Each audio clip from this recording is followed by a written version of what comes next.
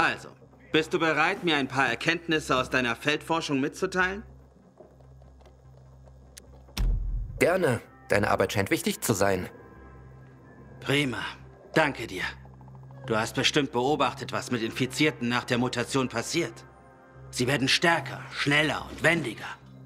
Bist du schon dem Typ begegnet, der höher als alle anderen springt?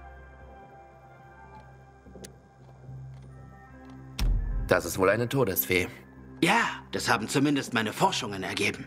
Interessant dabei ist, dass sie relativ schwach zu sein scheinen und wenn ihr Angriff das Ziel verfehlt, ziehen sie sich in der Regel zurück. Ich habe eine neue Art Infizierter beobachtet, die sich erstaunlicherweise stark von den anderen unterscheidet. Sie meidet Menschen. Ich weiß, wie das klingt, aber dir muss so etwas schon einmal begegnet sein. Wenn sie sich zurückzieht, hinterlässt sie Spuren. Weißt du, von welcher Art ich spreche?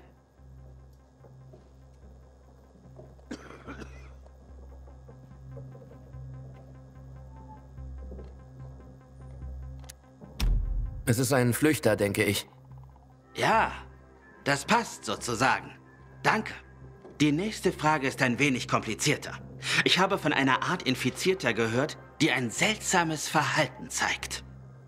Sie produziert einen giftigen Nebel um die anderen Monster herum. Manche Überlebenden glauben sogar, dass sie Tote wiederbelebt.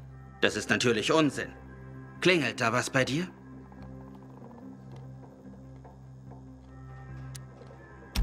Na, du sprichst über einen Wiedergänger.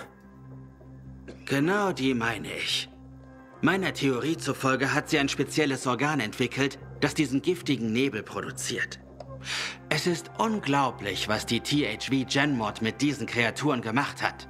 Furchterregend und faszinierend zugleich. Welche Art Infizierter meinst du, hat das explosivste Temperament?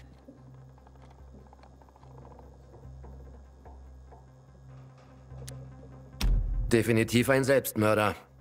Richtig, ein Selbstmörder. Halte dich von denen lieber so fern wie möglich. Gut gemacht. Du hast mir wirklich geholfen. Als Zeichen meiner Wertschätzung habe ich eine Waffe für dich, die ich hergestellt habe, als ich noch ins Feld zog. Ich bin mir sicher, sie wird dir von größerem Nutzen sein als mir. Oh, und sieh dir das an. Ich habe vor einer Weile dieses Kartenspiel mit einigen der gefährlichsten Infizierten erstellt, damit die Leute Gefahren besser identifizieren können. Hier mein Favorit, der Unhold. Du kannst die Karten haben. Pass auf dich auf, Aiden. Bis bald.